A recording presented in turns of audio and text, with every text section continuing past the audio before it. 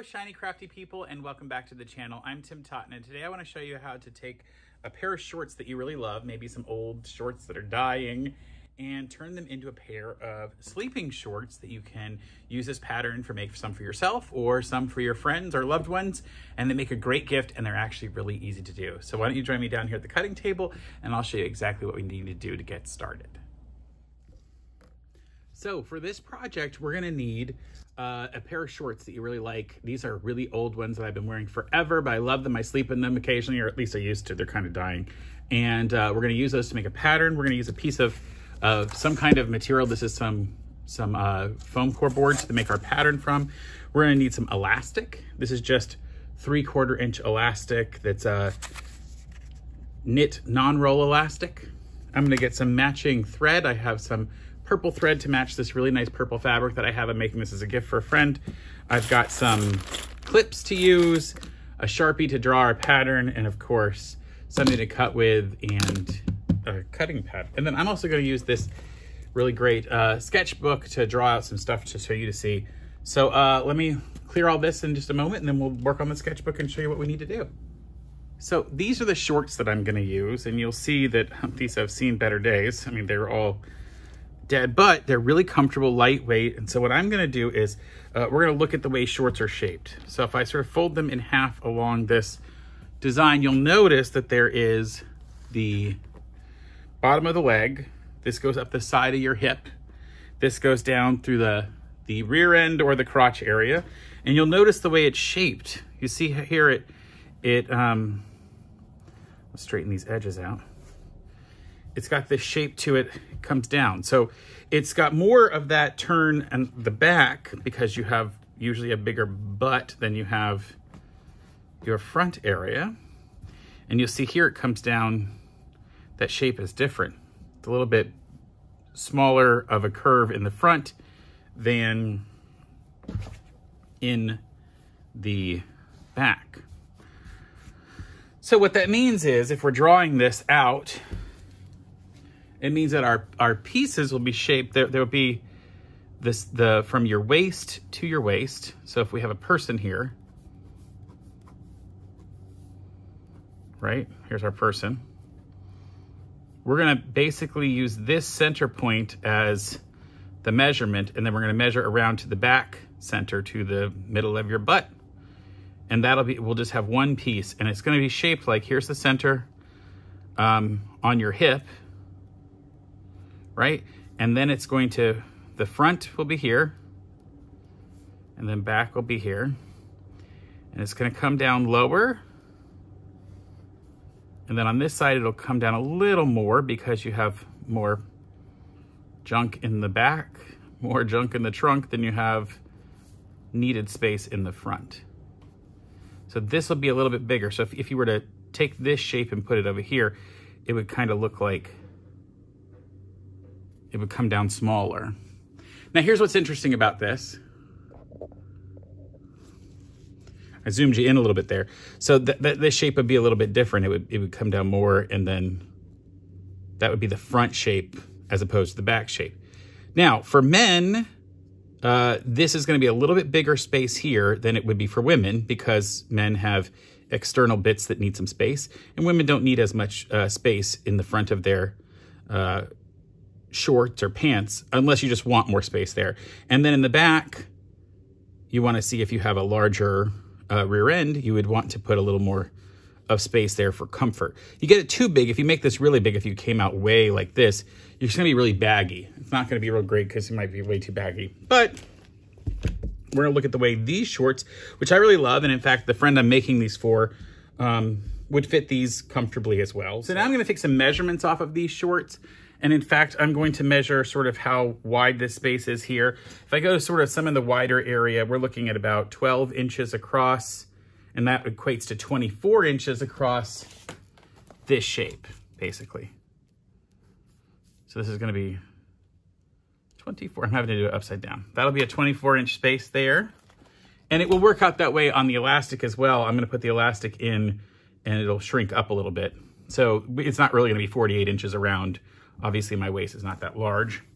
And then we're gonna look at how wide we are on the leg down here. So this leg is about 14 doubled, which is 28. I'm writing that on my sheet. And then of course, from this point to this point, the pointed part is right at 16, which makes that 32 across at the widest point, 32 from point to point there. The easiest way to make this pattern though, is to literally come over here and get our piece of material that we're gonna draw on and to place this down, use the bottom edge to put the, the bottom of the pant right there. And then also, so draw that line on. Now you will have to add some material to this because you have to have seam allowances, obviously. But we're gonna measure this up and then I'm gonna get, I'm gonna sort of straighten out as I get in here. So this is the back, by the way. I wanna make sure I write back for me because that's the, that's the bigger one. And yeah, look how good that fits. Now I'm gonna flip around to the other side and recognize that I'm gonna need to fold some stuff in here. Look at this. I'm gonna need to fold in the part that was in the back because remember the back is bigger than the front. So I do that, I fold that in. Now you see how much difference this is? Back to front, see? A big difference. So what I'm gonna do is I'm gonna flip this around and I'm gonna do it on the other side. And I'm, I'm making a tool here that I can use over and over again. So I'm also gonna bring this down to the bottom. Actually, I need to make sure it lines up exactly across from this one. So I'll make a point. That's where that point needs to come across. So when I put this down here, now the points line up and it's right along the bottom edge. See that right down there? So now I can mark it and then come back in. And then I'm gonna clean this up a little, but this will be my tool. Obviously, I'm not gonna make the pants that small.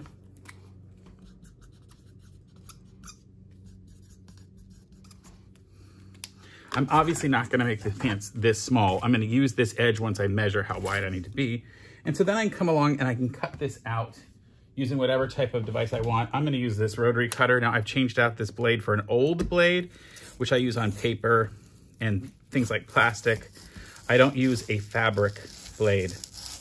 And remember, this is our final shape, so we're not actually going to, we're gonna have to add seam allowances when we get this to the actual device. To our actual fabric, we'll add seam allowances so that we get the right shape. Now here's the great part. If you're gonna make a bunch of shorts for yourself or people of a specific size in your family, make one of these patterns and then just hold on to it. And now you've got a pattern for the whole family. Or different sizes for different people.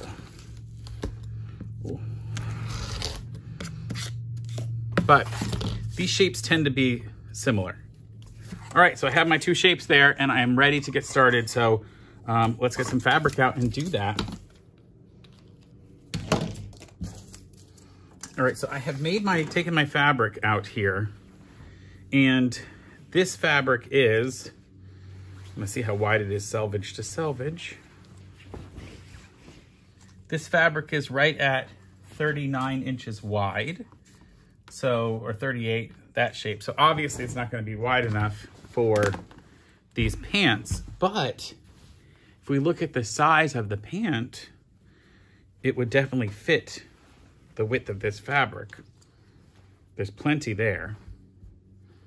So I could fold this entire piece along the, the with the selvage edges and see how wide that's gonna be. That's only about 36. I gotta see how big these pants have to be for me to actually wear them. I gotta see how wide they have to be. Let me look back at the thing. I needed 32 inches across at the widest point. So I can actually, I'm also gonna make sure there's no stretch in this fabric.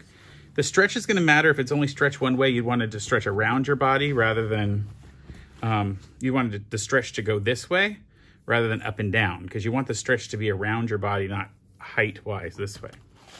So in fact, I can take this fabric and lay it out from selvage to selvage on this fabric and get the get the uh, size cuts out of it. So it's perfect. All right, this is this fabric is 37 inches, so I know I only need 32. So I'm gonna fold it this direction. So I folded the fabric in half to get me about 36 inches width. And I'm actually gonna use this edge, this selvage edge to be my, to be my bottom, to be the bottom edge where I'll fold the, or the top, one of the two, um, where I'll either fold up, fold down for the elastic or fold up for the, the legs. So what I'm gonna do is I'm gonna go ahead and fold this again in half. You basically wanna get two pieces that are going to end up being wide enough, at least uh, 32 plus inches plus um, your seam allowances, and then tall enough for the height of the shorts. So these shorts are currently, let me just measure them, 17 inches tall 17 inches tall, but I've got to leave room to do a casing for the elastic and to fold my seams at the bottom. So I want to do a, uh, a one inch at the bottom for the seam and then um, at least two inches at the top for the casing. So 17 plus two is 19 and another one inch is 20. So I need this to be at least 20 inches tall this way.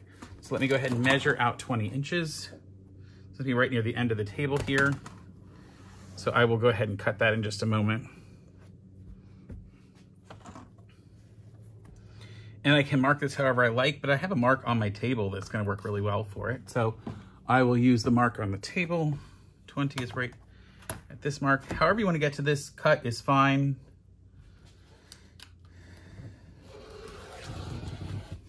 All right, I've got my 20 and cut that off. And then I'm gonna make this the bottom of the shorts. So I will turn the entire thing around. And now I know that I need this entire thing to be, like I said, 32 plus seam allowances. My seam allowance will be at least half an inch. So um, I need 33 inches wide. Now this is fabric is in four, four, four over, right? So I'm gonna cut basically two pieces out of this fabric. There's four layers of fabric in here. This is my folded edge over here. So I know that I need 33, which is 16 and a half inches wide. So I'm gonna make sure that I have 16 and a half inches here. And you can mark this with chalk or a pen, whatever works that makes the most sense for you. I'll put a mark on it with my Sharpie. And then in fact, I'll just line that up on a line on my table so I don't have to freak out about how I'm gonna cut that. And then I'll use my cutter. Now when I finish this part, I will have, basically I'll have turned in two pieces that are 33 inches wide by 20 inches tall. And that's what I will have here when I open these up. I'll have two pieces. So I'm gonna open up so I just have two of these to make the, the back right? And then, or the front. So if I lay it out there, it'll become, and then I remember I'm gonna leave my two inches at the top and my one inch at the bottom. So the best way for me to do this is gonna be um, to set up a little different angle and show it to you. So my 33 inches is going to be from this point over. So I will line this up right on the edge. Then I'm gonna make sure that I have my one inch or my one inch along the bottom to fold up the bottom edge of this. So I'm gonna use a chalk pencil and I come in and draw in my shape. Now you know what I didn't do? I need to actually step it over to my half inch mark so that I can actually mark the half inch of that. No, I don't have to mark the half inch on this because that will come out. We already added it in the cutting. Okay, good. Just ignore me. So I'll continue that mark up there and then I'll come down here and continue that down. I'm gonna go sort of st straight down so that I can fold that up. Okay. Then I'm gonna go to the other side and put the bottom on, or the, sorry, the, the back. So I'm gonna fold that sort of out of the way. And then I'll take my back measurement and do the same thing I just did. Put it on there with my one inch coming down. I will straighten that up a little there.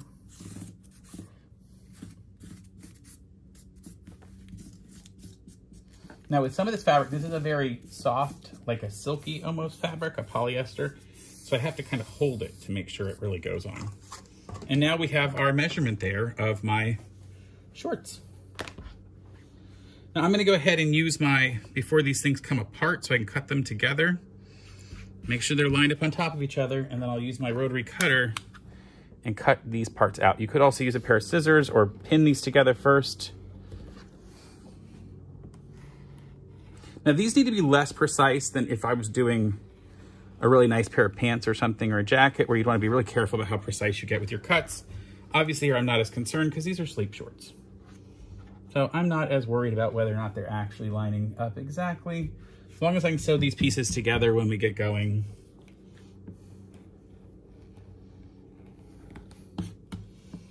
Now some people want to make these really specifically um, luxurious and you could use French seams for parts of this.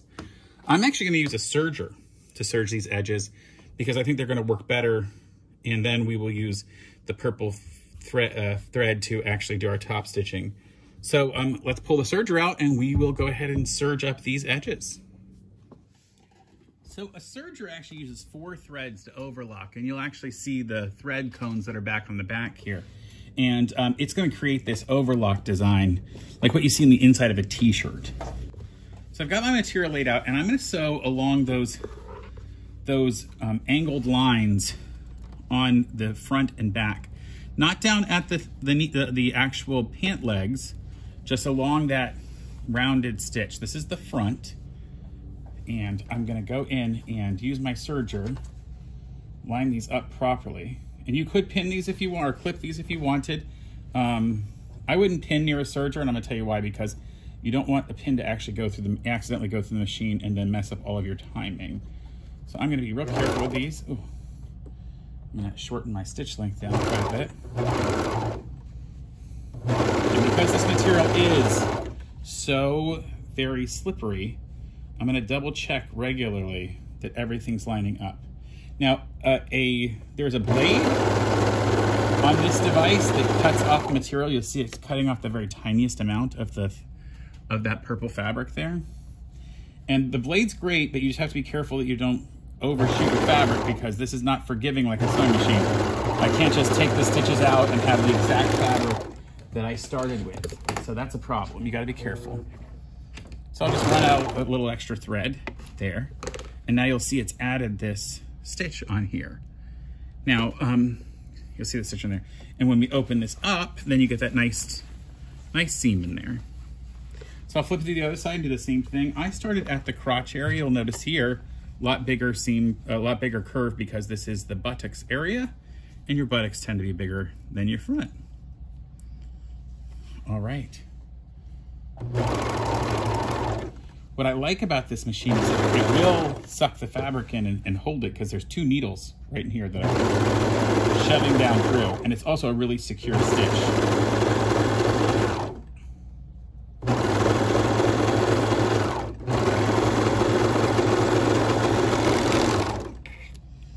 Now that I've done that other seam, now I have my two seams done. And we're gonna talk about how to then hook these two together. So we went ahead and put those two stitches in. You see what we've got shape-wise now. We have our back, our, our back over here, and then our front this side. And now as you open it up, and you have to create those legs together, that crotch. So you open it up this way. So we've done. And we lay the front and the back together right here. And this is where some clips will really be helpful to do this.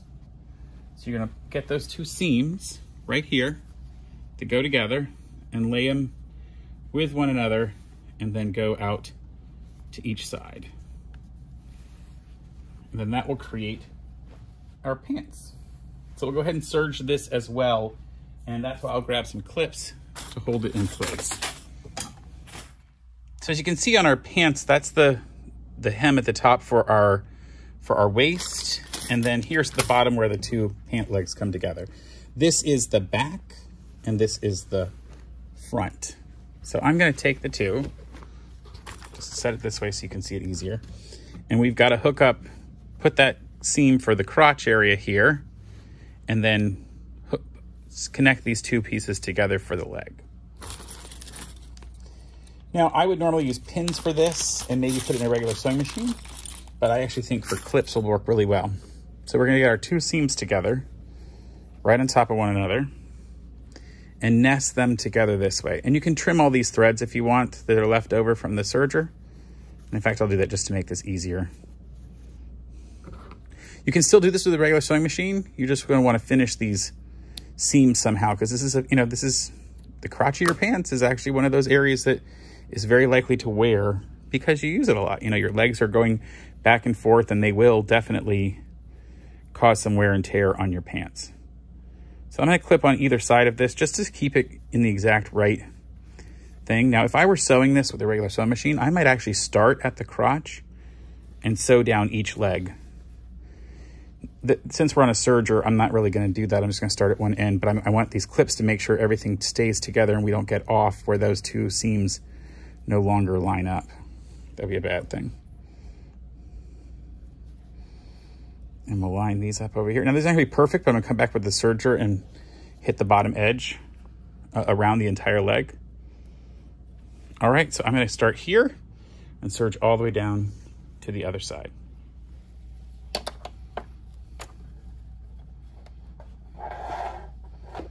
So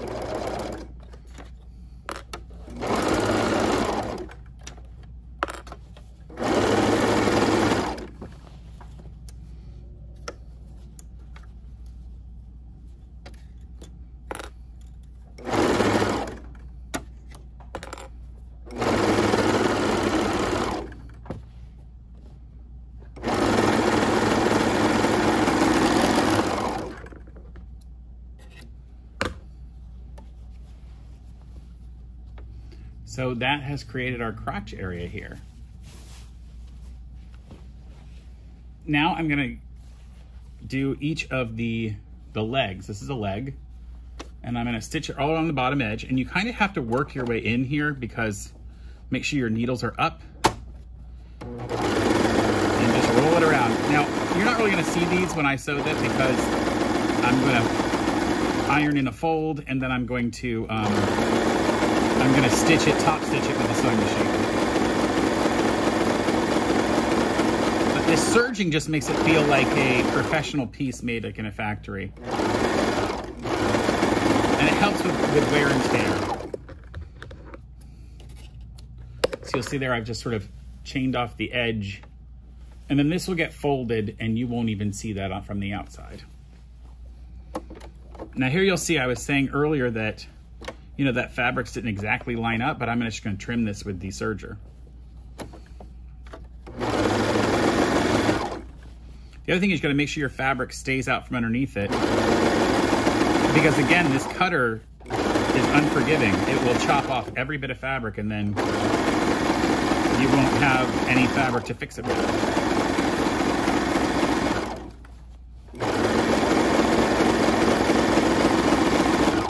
Here's we're getting over where I started and I'll just stitch, stitch off, keep it out of the blades and that way I can just trim it and that part's finished. Now I'll do the top portion where the waist is and then from there we'll go back over to the uh, the table and start working out how to uh, put in the the elastic and to, to hem the pants.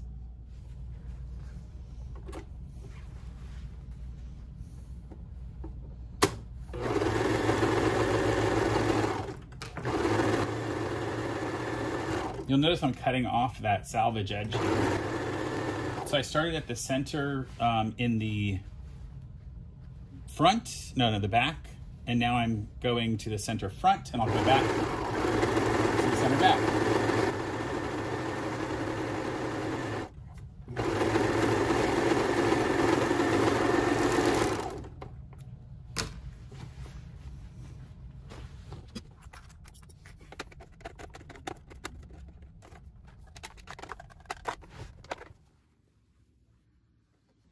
Right, so far I've got a pair of shorts here. You can see the legs, This is the front, and you can tell because the back comes out longer.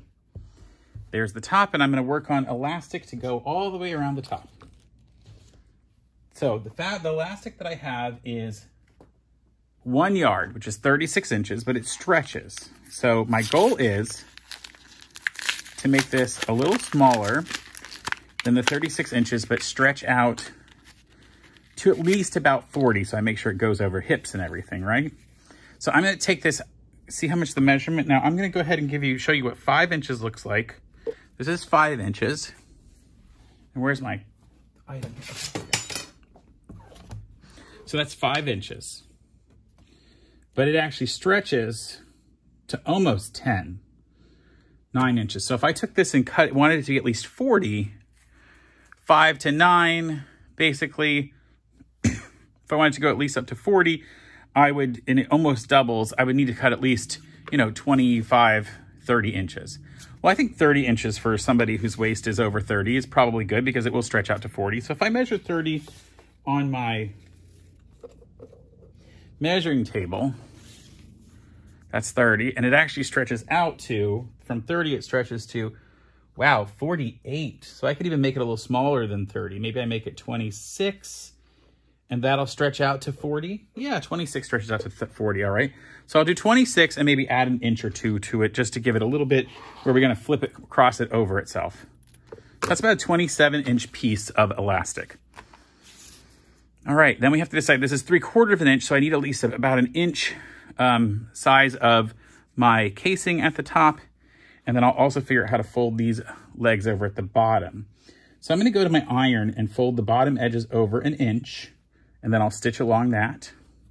Then I'm gonna fold the top down um, at least an inch at the top so that this casing can go through the top. So I'll do that and come back here and show you where to go from there. All right, so I have gone ahead and pin, uh, clipped everything. This is the, the top for the, where the um, elastic will go into a casing. And then here are each of the legs. Now I want to show you on each of the legs. I've made them about an inch, not quite a full inch fold over. So I'm gonna go to my machine and sew on this side, but with a purple thread and uh, make sure that I catch all of that material and then that'll finish at the bottoms and then I'll do the top portion, change my guide. Now I do have a guide on my machine. I put on a an actual guide so that I would know how far I was stitching. This is a seam guide and uh, that'll help me when I go to put this together so that it's really beautifully done on the front. It'll look so professional. Now my machine is down into a table, but a lot of sewing machines have a, this part will come off and you can then put the seam around. So if you're doing like sleeves or something, you'd have a real small part. Um, I'm just gonna make sure that I keep the bottom fabric out from underneath and I'm gonna start and end on this seam right at the leg.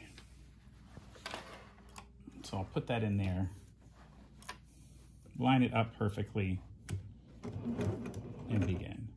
I'll go with my needle down so I don't have to worry about it um, coming out if I move it and I'll just take the clips off and go around. And again, it's gonna make sure that the seam is really nicely done all the way around and the exact same length all the way around. I did use my iron to get this pretty close to being a, a one inch fold over, but honestly, it's just hard to do that all the time perfectly. But so, so by doing it this side, I'll make sure that I still catch all the material here the um, the seam that I did with my with my um, serger.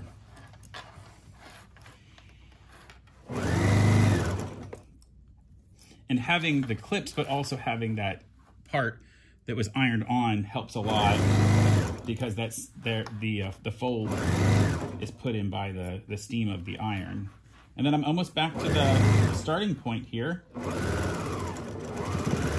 a little bit, and now I've got a completely finished uh, bottom finished hem for that one leg. And I'll go to the other leg and do the same thing.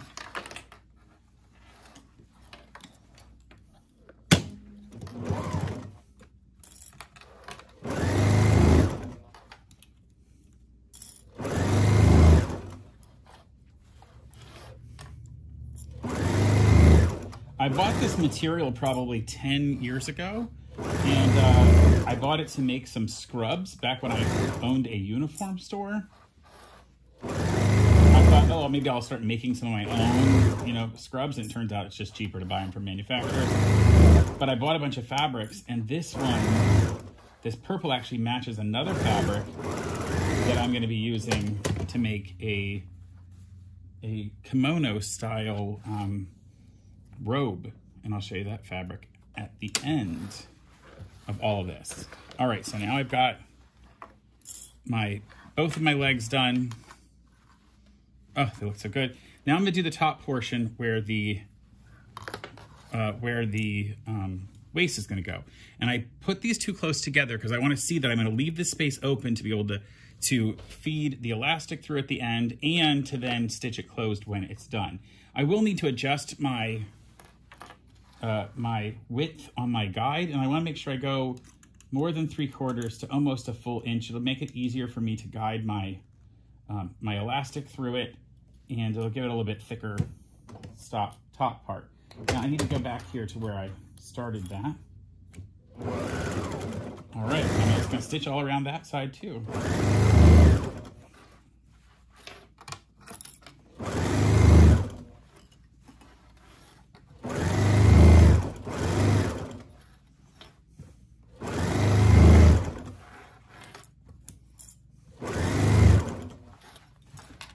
Now, you realistically only have to make this a little over three quarters of an inch, and then that will really make sure that the elastic is super tight in there.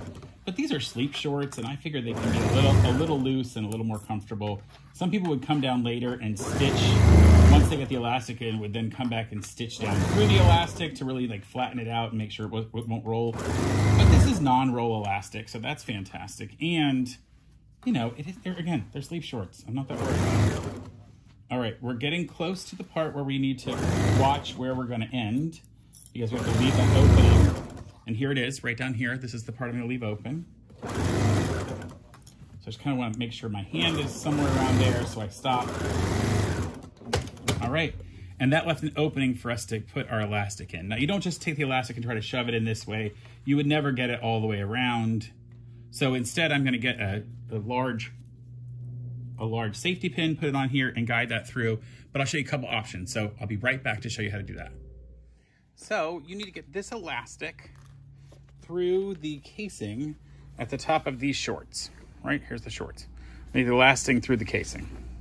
And we have an open spot to do that with. Now, there is a device called a purple thing, and I'll put a picture of it over here for you. Um, I, I normally have one of these. I just can't lay my hand on it right now, but you could feed through the part at the top there that has a hole in it, you could feed this elastic through it into that and then pull it through. The other option is to do the same thing with like, you could use a, um, a, this is a paper clip. And you would basically feed the elastic onto it and use this to feed through, right? You would feed this through and sort of pull it through. That is okay. You could also put it onto, um, through a, a pen. So you need to find a way to tie it onto here or hook it onto here and then feed that through. Or you could take the top off, pinch it through, put the top back on and hold it. My favorite though is a safety pin. So I'm gonna take the safety pin and because I don't want these edges to bounce every time they go through, I'm gonna fold it, those that in half. Now it's non-roll, so it doesn't really want to roll, but I'm gonna fold that in half and put the safety pin through it. Right through the end there. Close the safety pin, and now that's gonna pull through. Now you do have to be aware of this edge. You wanna make sure this edge doesn't get pulled all the way through. So in fact, I'll use a clip or two to clip it in once we get to that point. So what I'll do is, I know we're gonna start in here, so I will take this other end that we're not doing, and I'm gonna clip it on to make sure it doesn't get sucked through. You could pin that on through. So that's pinned on so it won't get pulled through. And then I go to the other end and I start feeding it through. So I'm gonna push this through here and then I will just hold the safety pin with this hand, the end of it, so you can see kind of that top pointing through. And then I'll push the, th the fabric over it. See, so it's now starting to pull through. You kind of feed quite a bit of it if you want to, because it's very thin fabric. And then I'm just pulling it back as I go along, see? So this will slide it through. You can get quite a bunch on there. See how much I got on there? And then pull it out. I know people that actually make a bunch of like shorts for family for gifts and they will um, just, you know, get a bunch ready at this point and then take them in front of the TV and just sit and, and do this process for all the different ones. Now, had this been a pair of shorts with a pocket on the side, right here on the side is where it would have been another piece of, you know, two pieces of material, a front, a back, and you have four pieces of material, and then you'd put your pockets in. But again, sleep shorts, I don't know why you'd need pockets in sleep shorts, so I'm not doing them. Now we're getting around to the, the other seam for the other part of the crotch. And then we will just be careful how we go over that material because we'll have a little extra material and there's some seams in there. So I just worked it, it through there. And you'll see it's starting to already gather the material, right? Because down here, there's very little left outside of it.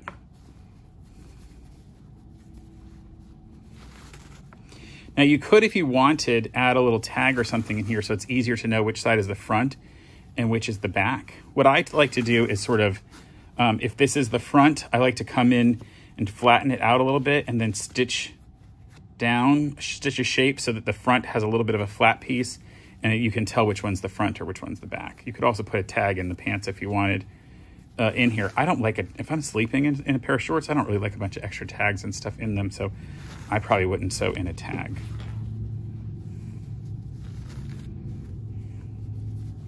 When we come back out the other side, we're just going to stitch these two pieces of elastic together, and I'm just going to layer one over one piece, one end over the top of the other one.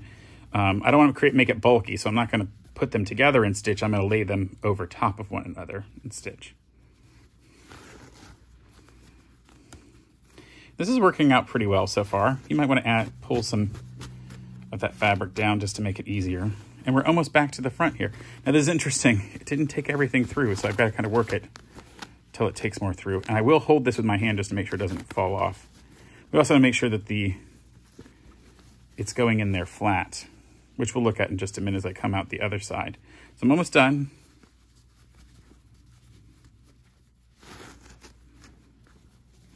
Yeah, you don't want this material to curve, uh, the elastic to, to roll on the inside, because then you'll always have a piece that's not flipped over straight. Here we come back out the other end, and I can pull that material out. And then what I'll do is I will make sure that this these two are flat to one another. I'm to go with my hand around it and make sure that stayed flat the whole way through, that it didn't curve at all. Yeah, it hasn't rolled at all. So I'll pull these two out take that off. Pull these two out. And they'll go on top of each other like this. So let me go ahead and take off the safety pin. Pull a bunch of that material back so it's out of the way. And I'll go to my machine and just stitch these two on top of each other. Just back and forth. I'll show you in just a second.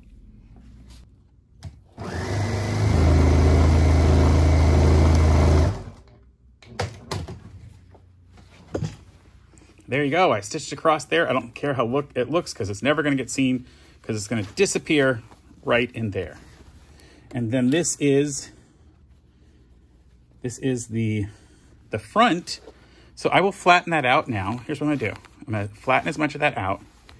And then we'll go over the sewing machine and I'm going to stitch sort of a rectangle on here to really hold that in, this part in.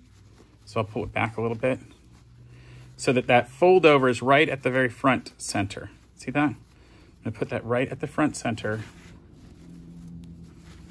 and I will use a one of the clips to hold it in place. All right, then gonna go to the machine and stitch that like I told you that'll show us where the front is. Let's go to the machine, I'll show you what that looks like. So here we are, and I'm gonna go ahead and keep flattening that material out. And I've gotta do two things. I've gotta stitch finish stitching that line back on where the fabric goes over, which I'll do that right now.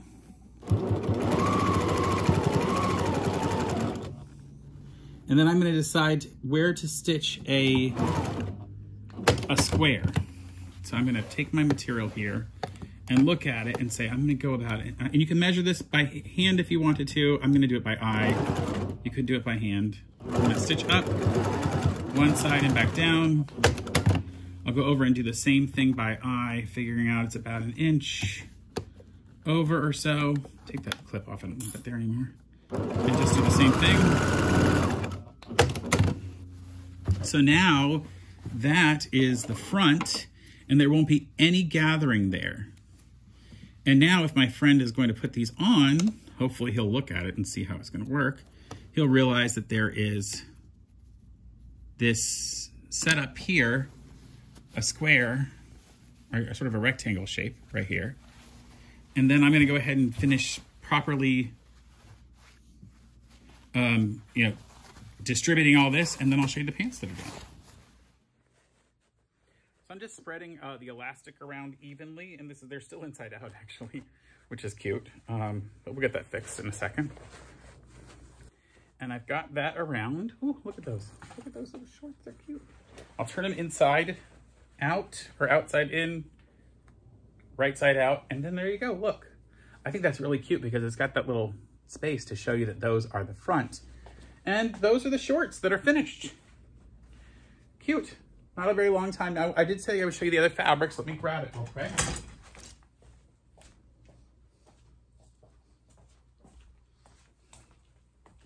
My friend is a gigantic fan of The Little Mermaid, so I have this really cute fabric that'll make a kimono style and he can wear it all around his house when he's off on trips.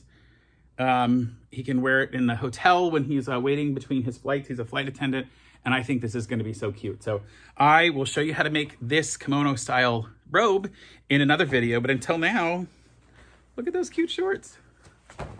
All right, hopefully you figured out how to make some really simple, easy shorts and uh, you learned a few things. And until next time, folks, stay crafty.